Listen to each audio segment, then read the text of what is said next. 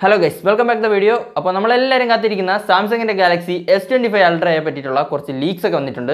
So അതൊക്കെയാണ് ഈ ഒരു വീഡിയോയിലൂടെ ഷെയർ ചെയ്യാൻ പോകുന്നത്. സോ വീഡിയോയിലേക്ക് പോകുന്നതിന് മുമ്പ് ഇതുപോലത്തെ ടെക് വീഡിയോസിനായിട്ട് ചാനൽ മറക്കാതെ സബ്സ്ക്രൈബ് ചെയ്ത് വയ്ക്കുക പിന്നെ സൈഡിലത്തെ ബെല്ലൈക്കണൊക്കെ പ്രസ് ചെയ്ത് ഉള്ളതൊക്കെ ഇടുക. പിന്നെ വീഡിയോ ഇഷ്ടപ്പെടുകയാണെങ്കിൽ ലൈക്കും കൂടെ അടിക്കാൻ മറക്കണ്ട.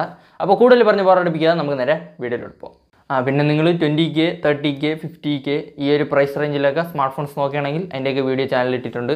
താല്പര്യം ഉണ്ടെങ്കിൽ കയറി കണ്ടു നോക്കുക. പ്രൊമോഷൻ ചെയ്തൊന്നും അല്ല കേട്ടോ സോ ആദ്യം തന്നെ ഡിസൈൻ ചേഞ്ച് വരുമോ എന്ന് ചോദിച്ചു കഴിഞ്ഞാൽ നോ വലിയ കാര്യമായ മാറ്റങ്ങളൊന്നുമില്ല. സെയിം ഡിസൈൻ തന്നെയാണ് നമ്മുടെ ഒരു പഴയ ക്യാമറ അറേഞ്ച്മെന്റും വർഷങ്ങളായിട്ട് നടക്കുന്ന ആ ഒരു സെയിം ഡിസൈനാണ് വരുന്നത്. പിന്നെ അവിടെ അവിടെ കുറച്ച് മാറ്റങ്ങളൊക്കെ വന്നിട്ടുണ്ട്. അതെല്ലായിട്ട് എടുത്ത് പറയാനൊന്നുമില്ല. ഇനി മെയിൻ സാധനമായ പ്രോസസ്സറിലേക്ക് വരുമ്പോൾ നിങ്ങൾക്ക് എല്ലാവർക്കും അറിയാവുന്ന സാധനം തന്നെയാണ് സ്നാപ്ഡ്രാഗന്റെ ജെൻ ഫോർ ആണ്. ഈ ഒരു ഫോണിൽ വരാൻ പോകുന്ന പ്രോസസ്സർ എന്ന് പറയുന്നത്. കിടിലം ഗെയിമിംഗ് ആയിരിക്കും. ആപ്പിളിനൊക്കെ വെട്ടിച്ച് കളിക്കാൻ പറ്റുമെന്നൊക്കെയാണ് പറയുന്നത്. പിന്നെ ഫോണിന് ചുറ്റിലുള്ള ബെസൽസ് ഒക്കെ കുറയ്ക്കും. അത് അറിയല്ല നമ്മൾ ആപ്പിൾ ചെയ്ത പോലെ തന്നെയാണ്.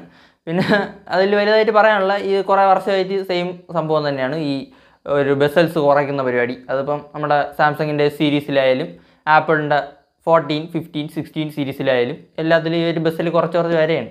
അപ്പം ഇങ്ങനെ പോവുകയാണെങ്കിൽ കുറേ കൂടെ കഴിയുമ്പോൾ ബസ്സിൽ കാണില്ല ഫോൺ എടുക്കുമ്പം സൈഡത്തെ ഒരു കറുപ്പൊന്നും ഇല്ലാതെ ഫുൾ സ്ക്രീനായിട്ടിരിക്കും അവസാനം. അങ്ങനെ ഇരിക്കും വരാൻ പോകുന്നത്. സോ ഈ ഒരു ബെസൽസ് ഒക്കെ കുറയ്ക്കുന്നതുകൊണ്ട് ഡിസ്പ്ലേ ഇത്തിരി വലുതാവും. അപ്പം പുതിയ എസ് ട്വന്റി ഫൈവിന്റെ ഡിസ്പ്ലേ വന്നിട്ട് six point eight six inches ആയിരിക്കും.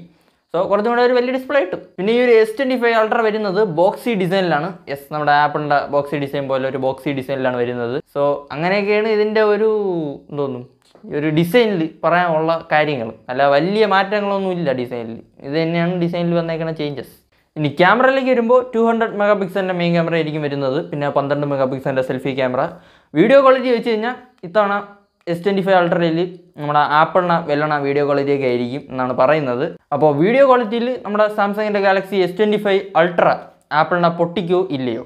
കമന്റ് ചെയ്യുക. പിന്നെ ഇവർ തമ്മിൽ അങ്ങോട്ടും ഇങ്ങോട്ടും ഒക്കെ അടിച്ചു പറ്റി അടിച്ചു പറ്റി ഇനിയിപ്പം ക്യാമറ കൺട്രോളൊക്കെയാണ് വരാനുള്ളത് അപ്പോൾ അതൊക്കെ ചിലപ്പോൾ കാണുമായിരിക്കും.